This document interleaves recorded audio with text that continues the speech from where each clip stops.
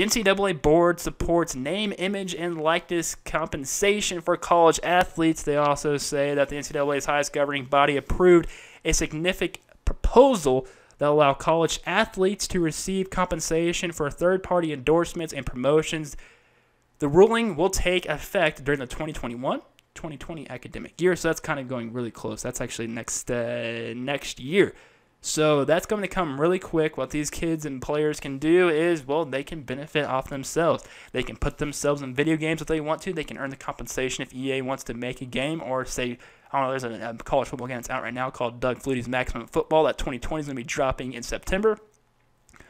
So you can add, uh, they can start their YouTube channels, they can start their Twitch channels, they can be streaming games, they can do anything they want, they can sign those autographs, they can sell those autographs, they can earn monetization off YouTube. They can do that even on uh, Twitch or however that happens with the bits.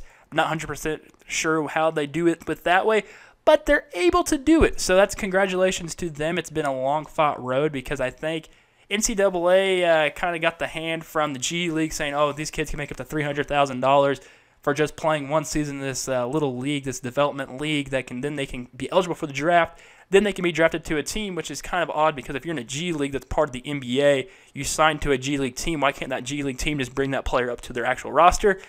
I'm not going to get in that murky waters, but NCAA forced their hands, and these student athletes will be able to profit off themselves. And I believe we're going to see, if you are a video game nerd like myself, you're going to see NCAA 20 or 2021 come out and for video game footballs, I hope there's actually a basketball one because if I already have my fix on Doug Flutie Maximum Football right now, which also if you're an athlete and you are watching this, if you want to get a hold of Maximum Football as soon as possible, you can be in their game. Yeah, you can actually have you can actually be in their game for Maximum Football. I'm pretty sure you will get compensated like compensated through your likeness. So uh, if I were you, I would go check that out. If you're even Division Two, Division Three, why don't you reach out to them and say, hey maybe a Division two guy, if I can get like you know a few bucks just to be in your game, I mean I don't see why that's that's a problem. And then NCAA uh, going on EA, if that actually happens, I mean every once in a while I play NCAA College 14, so I would totally enjoy the 2020 uh, or 2021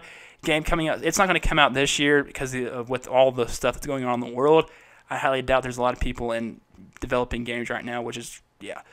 So that's uh, I, I really do enjoy the fact that these college athletes will get their, their likeness and they'll get paid for it, which is what they need and what they should have done it for a long time now. Because if these kids can't work or anything like that, they need to get somehow instead of because I mean there's these kids that are if they're not on scholarship they have to pay out of pocket, so they have to go to these D1 schools and they have to get their talent there and they got to somehow make money in order to stay at those D1 schools because you got to eat. You know that. I mean, of course, you get meal plans at school. You can always eat during that. And then you always have to pay school back. So once you're done with school, you wait six months, six to seven months to get your student loans going, and then you start paying it back that way. So there, there's a there's a trade-off there. So, so yeah, likeness perfect. They're gonna get paid somehow. They're gonna get paid. They're gonna get money somehow.